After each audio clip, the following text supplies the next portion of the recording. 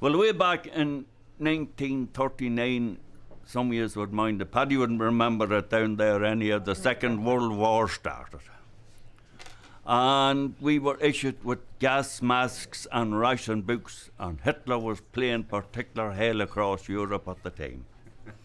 We were rationed with two pound, two ounces of bacon, two ounces of butter, and two ounces of lard. That is to do you the whole week.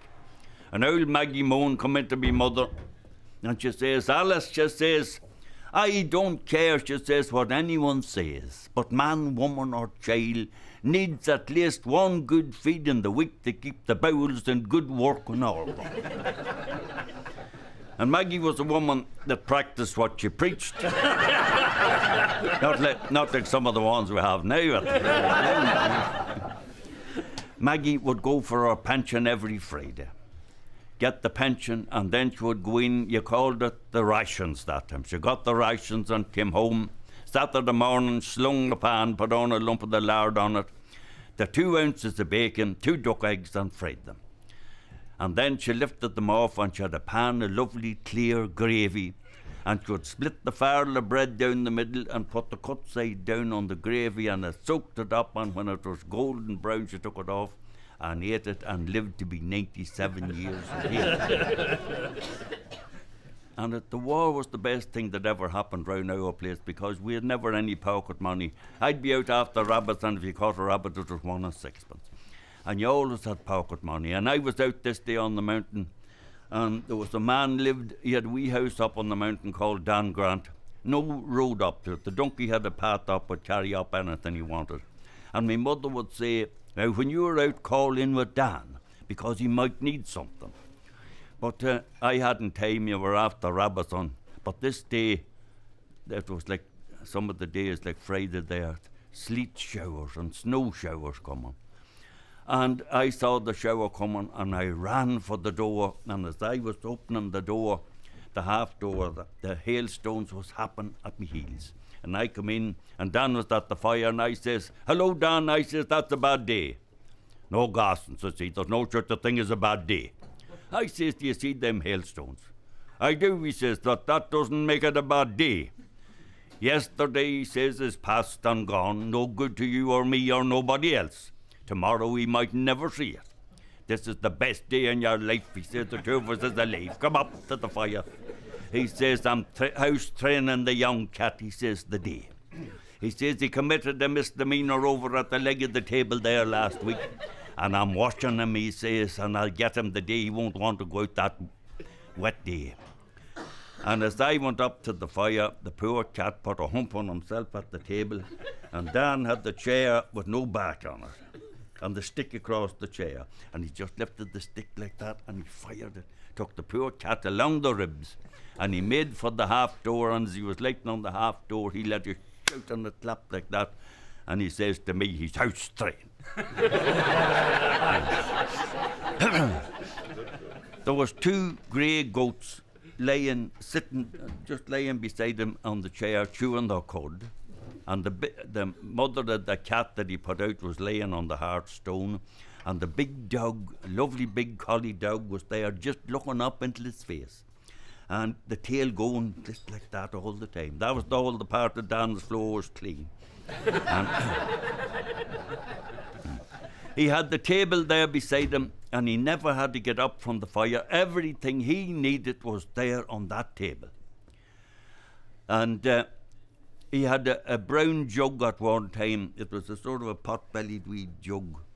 And one day he came up out of the bedroom and all he could see was the tail and the two hind legs of the young cat down in the jug of milk.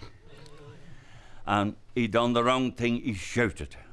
And as soon as he did, the cat jumped with the jug on his head and hit the hearthstone. And Maggie Moan said to me, Mother, and the jug, Alice, she says, went into a hundred halves.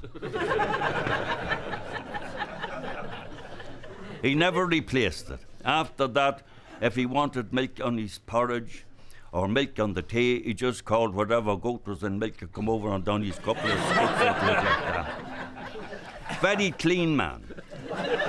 when he was finished with his dinner, he would have the plate and he'd scrape whatever was left on it to the dog on the cat, and then he'd take the kettle and put a spout of water over the plate, turn it upside down on the table, do the same with the mug, turn it upside down, perfectly clean till the next time he came back. But the wee cor- three cornered bit on the table, when he'd be taking his tea there, he'd split the farrel down the middle, and he'd always then butter it on the inside there, and he liked his butter and he'd have that there. But sometimes when he'd be eating there, as happened many of us, the bread fell off the table now and again. And if it fell on the side there was no butter on, that nice shiny part of the bread, all he had to do was just rub it in the leg of his trousers and leave it on the table. Perfect. But if it fell with the buttered side down, with goat's hairs and cat's hairs and dog's hairs, You'd think it was an animal that was going to walk up the table.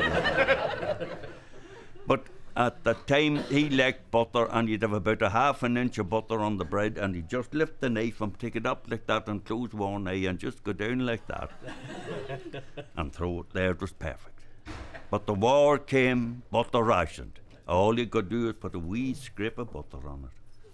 And when it fell, it lifted as much as the other and he couldn't go down. A dead loss. The dog had to get the bread and the butter, the whole lot, and bread rationed and butter rationed. But now and again, it, as I say, it would drop on the other side, and you begin to think, why did the bread always, nearly always, nine times out of ten, fall with the buttered side down? why didn't it always fall the other side down and there'd be no problem? Well, he put in a fortnight trying to work out why did the bread fall with the butter side down. And he nearly had it a couple of times, and to finish up, he says, oh, It has me bad. I'll go over to my cousin Mickey O'Hare, he says, over, he lives over at the border. And he says he's a smarter man than me, and when the two of us gets together, I bet you we'll come up with an answer. And he heads for Mickey.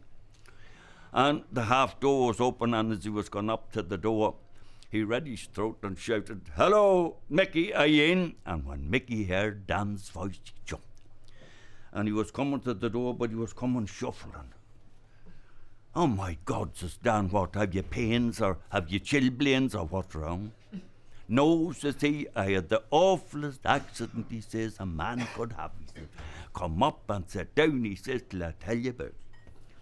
Since this war started, he says, I crossed the border, he says, every week on the bicycle for to get tobacco. The tobacco you get down here, you couldn't smoke it, he said.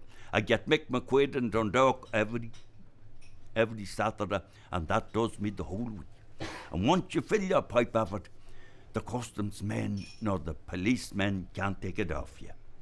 And this day I was in Dundalk, and says I, I went to the butcher, so it's not beef's not rationed up there. I'll go in and get a lump of steak or something. And then he, I went, he says, and there was the butcher, and he was working away with a pile of pink stuff on this big bench. And I says, what's that? Says he, that's a new thing, he says, that's out now called sausages. and I says, can you eat them? oh, says he, they're great for eating, he says. And for a man with not many teeth, he says, there's no bones in them around. He says, they're great, he says. says I, uh, what way do you sell them? Well, he says I seldom be the pound usually, but me scales is broken. He says, and what I'm doing, I'm making every sausage six inches long, and I'm selling them be the yard. There's six in the yard. and because I says I couldn't take a yard of sausages like so they'd be sticking out of me pocket, so the boss custom man. He says, You leave it to me. I know all about smuggling. Take off your coat. I took off the coat and he says, Take off that scarf you have round your neck. I had the scarf hanging round my neck. I took them off and he just comes over, hangs the yard of sausages round my neck. Now says he, put on your scarf and the coat, and I did. I'm smuggling them this last six months and I'm meeting customs men and policemen and they don't know I'm smuggling at all. And this day I got up, it was raining cats and dogs. I says, I'll not get out today. And then I says to myself, sure, I couldn't do a whole week without tobacco. And then I thought, I'll get on the bicycle and just go over a couple of yards to the road, go on the bus, wouldn't get wet at all. got on the bus and landed in, went down and got me tobacco, and I went down then to buy the sausages. Says I, I could take two yards of sausages rightly round me neck, just as handy as one, and I could eat two sausages a day. Wouldn't do me a bit of harm. In I goes and says I, I want two yards of sausages a day.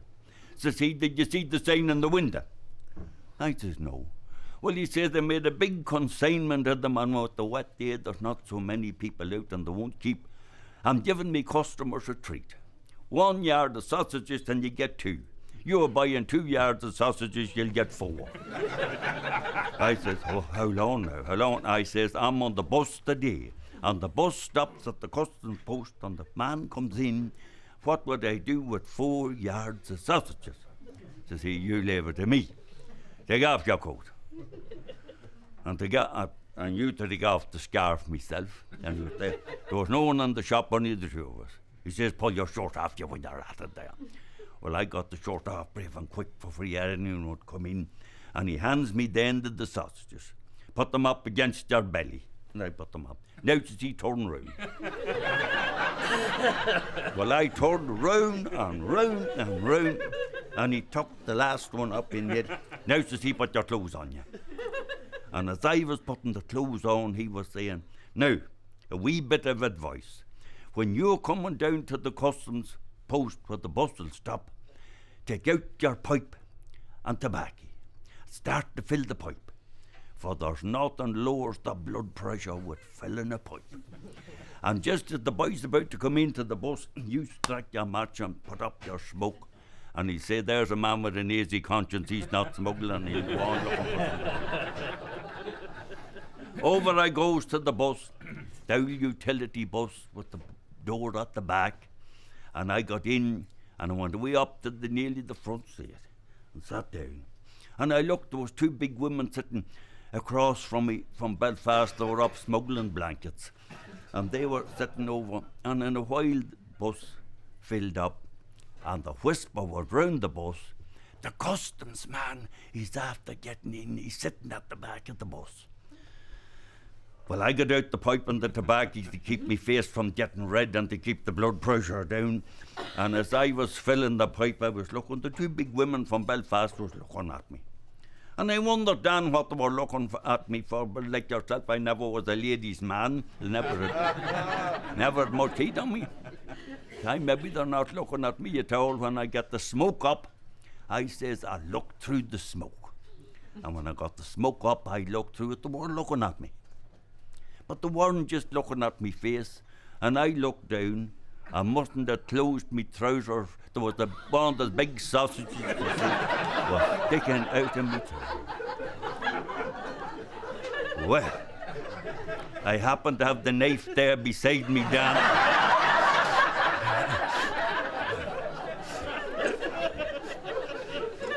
and as quick as lightning, I just. and I slipped it into me pocket. The knife as heavy you see. And the big woman fainted out of her. well, they were round her and they were clapping her. And eventually they got her up. And at that, didn't the bus stop at the customs? And the boy went in and took out a cup of water for the woman. And she come round and they got her in the seat. He went out and he never looked at anybody. Well, I tell you, Dan, my face was red. But I was smoking on for to keep myself calm. And as the bus then took them on on again, I looked again because there was another out there. I still had the knife in my hand, and I whipped it off again because this time I, I fainted.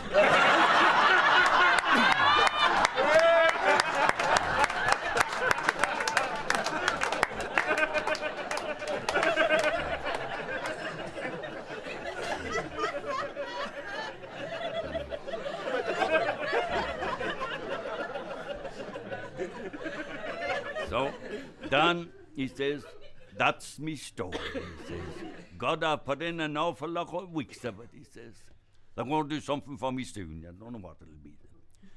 Well, I says, tell him, I thought I had a problem coming over to you. But when I hear your problem, I have no problem at all. Well, I'll tell you. Tell me anyhow, because things like that takes me mind away of things. Well, Dan started to tell him about the bread and the butter, and the bread falling, and nine times out of ten it would fall on the butter side down. But now and again it would fall on the other. Why didn't it always fall on the other side? By God, Dan says he, that's a tough one. I'll tell you, he says, what we'll do. I'll go down, he says, and lean over the half door here. He says, and smoke. I get a bit of ease when I'm leaning over the half door. And the pot of spuds is on there, he says, and I have sausages on the pan. He says, you can have a feed. and tell me what you think of them. And Dan got the dinner and he was sitting down eating it, and the other man was smoking at the door, and in a wee while he says, Hey, God, Dan says, see, I have it. I don't believe you. And what is it? You're buttering the bread on the wrong side.